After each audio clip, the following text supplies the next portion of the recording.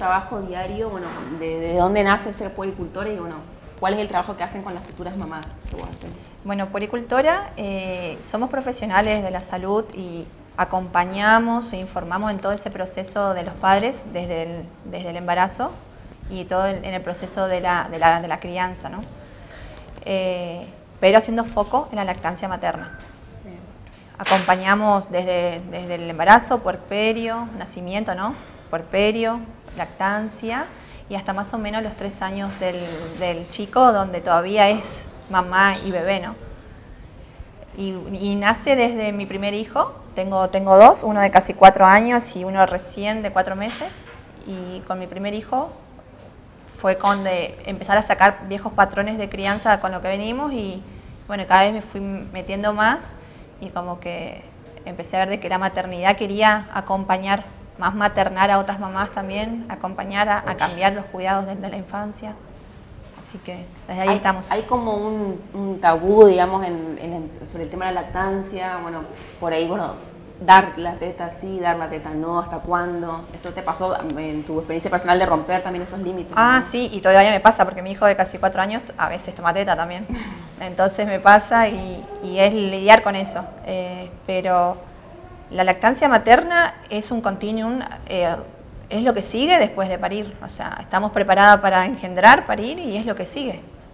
Y incluso la OMS te lo, te lo te lo pide como, o sea, lo, recomienda como exclusiva hasta los seis meses. Nada de agua ni artificial, o sea, es leche materna exclusiva. Y que después se extiende hasta los dos años o más, que ahí ya es decisión de la, de la mamá o de, o de ese bebé, ¿no? Pero hasta los dos años, de hecho, la leche siempre va a alimentarse a la edad que tenga el chico, ¿no? ¿Cuáles por ahí son las principales consultas prenatales, estamos hablando ya que te hacen las que están en etapa gestacional, digamos, no calculo que deben ser miedos por ahí, ah, dudas acerca del el momento después de, que el bebé salga de la panza, no del útero. Y consultas, eh, miedos y muchos, por ahí miedos, temores, que están preocupadas si van a poder dar la teta y están también como que yo sé que la lactancia es lo mejor y no quiero que se corte porque, porque ya me contaron de que se corta y no quiero, entonces bueno, y, pero muchos miedos que hay que trabajarlos, pero también miedos que van más por la desinformación.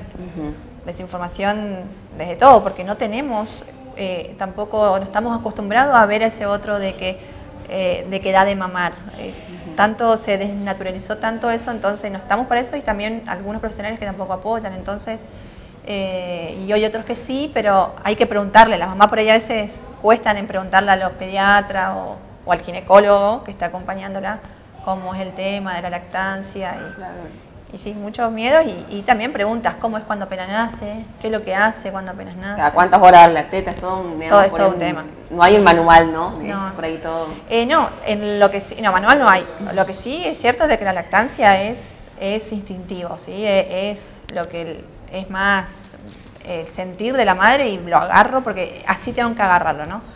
Pero también sabiendo si de antemano sabes algunas técnicas, algún, algo de información y la información es poder y, también va, a derribar muchos mitos, ¿sabes?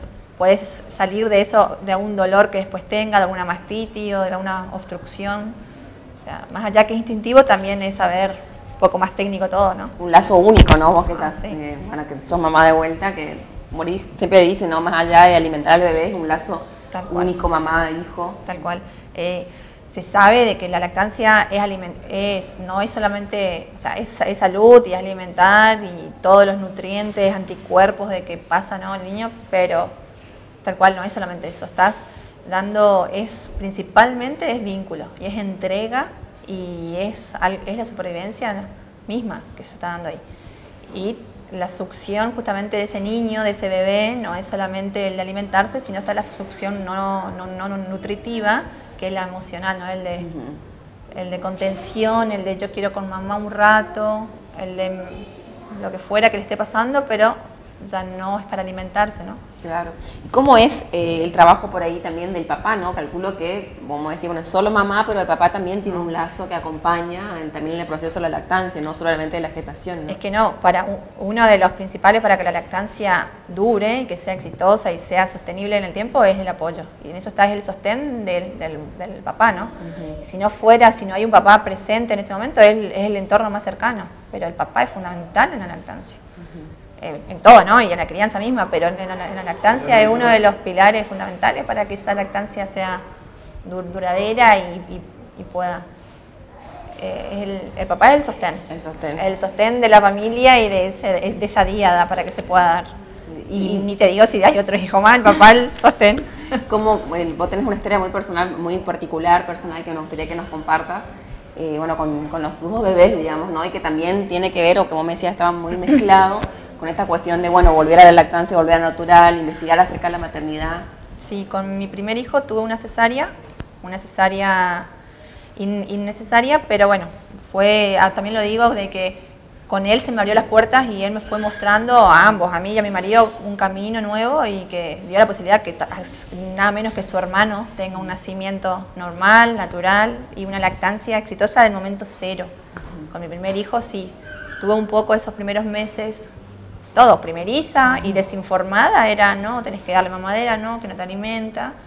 Y bueno, y así fui hasta que eh, decidí estudiar por, por el de acompañar a las mamás, me apasiona eso, necesito como cuidar eh, algo dentro mío que quiero cuidar la infancia, ¿no? desde mi lugar al menos. No, puedo hacerlo en todo el mundo, pero desde, mi lugar. Y, nada, y, así fue de que también informándonos, mi segundo hijo nace por parto normal, después de una cesárea, con trombofila también, de que me entero al poco tiempo estar embarazada y con la medicación necesaria todos los días aplicándome, eh, heparina se llama, que es un anticoagulante. Llegamos a la semana 40, 40 semanas, cumplí el 21 de febrero y a la 40 semanas y un día eh, nace mi hijo. Todo, Todo perfecto, no, no, nací con 8 horas de trabajo de parto y nació. O sea que también la, diferencia en lo que es la información, lo que vos decís, ¿no? Es la información. En el trabajo de gestación es, es muy importante como pilar para también, como decís, decidir por ahí eh, y no una, una, cesárea, innecesaria muchas veces. ¿no? no, sí, es que la información te da la posibilidad a que puedas elegir. estando con ese, obviamente también trabajar eh, también más los miedos y lo emocional por atrás, va todo ahí de la mano. Eh, y yo creo que también desde mi lugar como poricultora, de que estudiamos también un poco, tocamos el tema del, del, parto porque acompaño. Sabemos que lo, que lo saludable y lo esencial es un parto normal, por, todo lo, por todo lo que implica.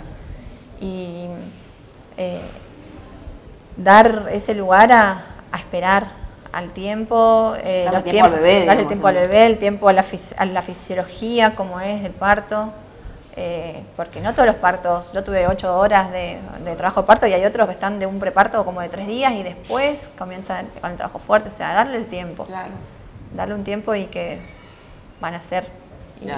obviamente vas eh, eso se planifica, ¿no? Vas sabiendo si tu hijo está bien, puedes seguirlo más hasta las 42 semanas, es un... Eh, Todavía ahí está término, digamos, como para esperarlo. Tal cual está término para esperarlo, término para esperarlo, con los, con los controles necesarios eh, podés hacerlo sin problema. Y por ahí contame un poquito tu trabajo que me, me, me, llama mucho la atención, que también debe ser de, de, acompañamiento emocional para la futura mamá, ¿no? Más allá de que vos digas, bueno, cuando nazca tu bebé, das así la teta, no tenés que hacer esto, tenés que hacer lo otro, sino también un acompañamiento emocional ante toda la, inquietud, sobre todo la primeriza, ¿no? Sí, no, eh, todas, eh, todas. No, pero eh, es eso. Nosotros por ahí mi trabajo es más holístico, tal cual como decimos. Yo abarco, no es solo para ir explicarlo técnicamente, tenés que dar, eh, aparte, y, me, y, me, involucro mucho en, ese, en esa dinámica familiar, no solo en la mamá, todo como es y y, volvés con cada historia, con cada relato y, vas acompañando. ahora me sigo hablando con una mamá hace tres semanas, con vuelta al trabajo justamente y, es, es, muy, es muy motivador encima, ¿no? Y también es, eh, de alguna manera es recíproco porque vos recibís ah, también por el poder ayudar a que te digan, mira, me, solucioné tal cuestión que tenía, también debe ser algo que es recíproco y que te apasiona, sin duda. Sí, no, no, sí. Y el tema de la vuelta al trabajo, te hacen muchas consultas, que bueno, que hoy en día la mujer también es un, trabaja ya a los 3, 4 meses, quizá vuelve al trabajo y se genera por un quiebre, una ruptura en la lactancia. por Eso, eh, justamente una de las, una de las principales, eh, ya que se termina la, lactancia tan pronto, es por eso, es por la vuelta al, trabajo a los 45 días algunos y también por, eh, por la desinformación y por el apoyo que no hay porque se puede seguir dando lactancia materna después de aún trabajando, solamente que no va a ser con pecho exclusivo, pero tenés extracción, ya con un tiempo de, preparación y te vas extrayendo leche, informándote, trabajando mentalmente también, que vas a volver a trabajar y... También de, eh, ese, ese, ese, vínculo por ahí que se rompe genera un estrés. No, pero bueno, pero sí. Eh, obviamente estuviste tres meses con tu hijo cuerpo a cuerpo y es un, es un tema, pero justamente es empezarlo con tiempo y no de que te, que te llegue ahí, mañana te voy a entrar a trabajar como hago. Y, pero sabes que volvés y siempre hablar al hijo, hablarle, tiene tres meses pero saben un montón, saben desde la panza, saben todo lo, nuestro sentir. Eh, hablarle y cuando volvés de, trabajar es cuerpo y entregarte a tu hijo. Y es lo, o sea, como que ahí recompensás esas ocho horas o cuatro o el tiempo que te fuiste, afuera. afuera. Vos lo recompensás ahí. Y sobre el parto respetado, ¿cuál es tu postura? Vos me decías hoy que, eh, bueno, estuviste, estás muy de acuerdo con el parto respetado y que va de la mano con la lactancia materna. Bueno, eh, ¿Qué, ¿Qué, opinas de esta cuestión que tuvo que haber una ley quizá para que justamente se pueda respetar el parto, valga la redundancia? ¿no? Sí, ¿no? es que creo yo porque se normalizó tanto el no, el, la cesárea o, o, o, la intervención. Pero ojo, crees que se naturalizó la intervención quizá? Y la verdad que no, eh, no, sabría decirte bien, pero puede ser por los tiempos, por agenda, por desinformación antigua, que todavía se sigue haciendo, pero también el parto respetado no es solamente por el, por el, por el parir, ¿no? También puede ser una, una, cesárea, pero respetar, informar primeramente. Va una mamá eh, con dudas, quiero, quiero cesárea. Una mamá que quiere cesárea, pero, pero tiene dudas y, tiene miedo, pero tiene que estar atrás de ese médico diciendo, mira, la, la cesárea es esto, es una operación quirúrgica y es esto, y el parto es esto. Y a eso va el parto respetado, el de respetar la decisión de la mamá, la decisión de ese bebé, la decisión del tiempo. Y con la información necesaria. Con la información necesaria, porque es la única manera que podemos e-, elegir, si no, no hubo algo que podamos elegir, fue nuestros miedos y, nuestras dudas. Claro, perfecto. Eh, y te hago una consulta más con respecto a la alimentación, ¿tiene que ver la alimentación en la madre con respecto a la lactancia o no, no, no, no, hay relación, digamos? No, no, sí, tiene sí que ver. Eh, obviamente que al niño no va a acosarle, tenés que alimentarte vos como, como mamá, como mujer y, para que sea saludable. En, cuanto a cantidad y de leche va a ser la misma porque el niño no va a afectar al niño. El niño te va a sacar hasta lo último que vos tengas, la última reserva tuya de, tu cuerpo, el niño va a succionar y, hacer leche, ¿no? Sí, eh, con una alimentación saludable, fuera de harinas refinadas, de lácteo, azúcar, de ir controlando todas esas cosas, el chico, el, bebé puede tener una mejor calidad de leche, pero alimentarse va a estar siempre él alimentado. Es para que la mamá también esté saludable. saludable, tal cual, sí, sin duda. ¿Cuál es hasta, hasta, cuándo, hasta cuándo hay que dar la teta? ¿Cuál es la pregunta del millón, no? A ver, en principio es una decisión de mamá y de bebé. Eh, sea si quiere hasta, hasta el año, hasta los dos, tres o cuatro años, es, una decisión de la mamá y se, vería, se debería respetar. O sea, hay que respetar eso la leche siempre es alimento, la leche materna siempre, ¿sabes por qué? Porque se modifica con, la, con las necesidades que tenga ese bebé en cada etapa. no es lo mismo lo que mi hijo de cuatro meses con mi hijo de cuatro a casi cuatro años que también a veces quiere, quiere tomar pecho. O sea, vas, eh, cada etapa es diferente y el bebé regula y la naturaleza regula también la leche que va. Como por ahí lo veías vos, que hoy comentábamos lo de una, lo de una mamá enferma, cómo va esa leche cambia con los anticuerpos necesarios para, ese, para, su, para su bebé. Eh, y la OMS, la, la OMC, eh, eh, UNICEF, las asociaciones de, de, pediatría, es lactancia exclusiva hasta los seis meses y después hasta los dos años o más, según lo que mamá y bebé quiere. Y es exclusiva hasta los seis meses porque para no ingerir alimentos ni nada. Después viene la acción complementaria, la alimentación complementaria, que es eso, es complementar.